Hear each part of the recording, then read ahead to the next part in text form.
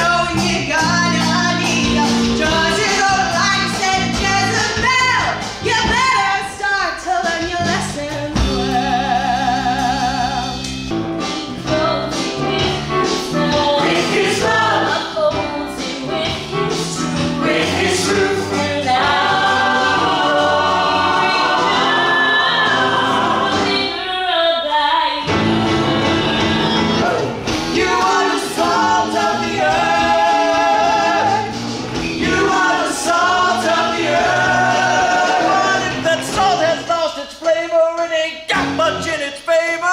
Yeah.